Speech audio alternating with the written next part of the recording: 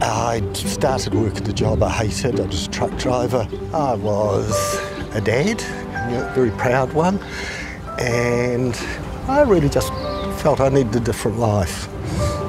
Welcome to Hagley. Thank you.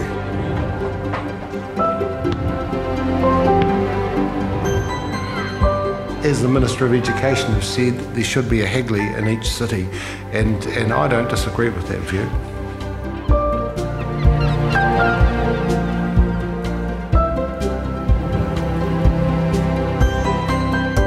I'm from Afghanistan. Philippines. Your parents working Christchurch? Yes. We might just need to make something that we can form this around. Yeah. So who comes here? Oh, kids from everyone's families. That, that's what I like about it. You could be um, from some of the most affluent families in Christchurch, or you could be um, from, from areas that, that really struggle with things. We've just got a really, really broad range of students. That's the sort of place of last refuge, isn't it? You don't want me to talk about No, it's, it's okay. It can be the place of last refuge. Yeah, no, it's cool. Yeah, it is. It is. Yep. Those particular kids flourish here, don't they? Yeah, they do. Yeah, they do. If I have any friends that are like giving up on school, you know, I always just tell them like give it a go at Hagley. The school I was at was very different to this one. Um, you know, you it was very binary in the, the learning style. For students who've had those really mixed experiences of previous high schools or previous learning, if anything's going to work for them, it's this place. I'm a year 13 student, so I'm 16, but I'm a full-time fashion student. I'm a level three, but I'm doing a, a level level two math.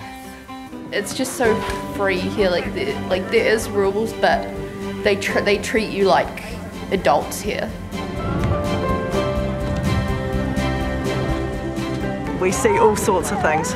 You know, you may sometimes think it's a dress up day, it's usually not. Welcome everyone, and um, we're here to celebrate the end of Pride Week. Uh, lovely to see you all and to see you in your, um, in your rainbow colours. At Hagley I was able to finally find my identity. So I think it's true that kids feel like it, here is a safe space for them. How are you doing? Good, how are you? Good. Where are we? We're just heading into the school cafe.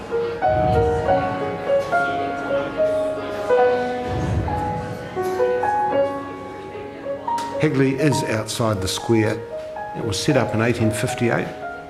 And this was a school that was for students who were not of the Anglican persuasion, which was, of course, how the Christchurch, um, Christchurch was originally set up.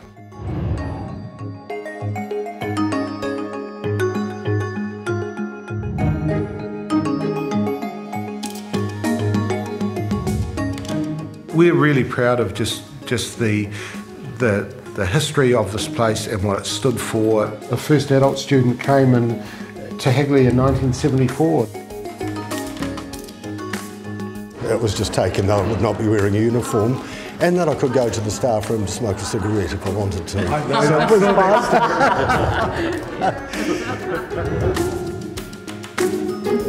He started something. Oh, he more than started something. You know, we've we've got a, a, a legacy now that's that's nearly 50 years old with what Paddy did in the early 70s.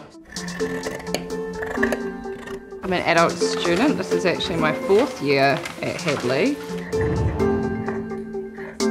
I enjoy being in class with the younger students. I think they're very motivated and driven, which is nice. And the days that they behave like teenagers and they annoy me, I will tell them, so that is totally fine. Double denim, Britney Spears, Justin Timberlake. How can you not like love that? We're in the School of Fashion.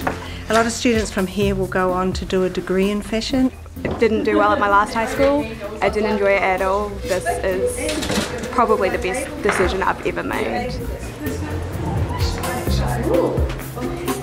We've got more people who want to be here in year nine than we've got spaces for. Um, the same for year 11 as well. So, yeah, the secret's out. Yeah, definitely. I think everywhere needs a Hagley. Place for those students that might just find their people. So, Paddy, Paddy, how did you get on at Hagley?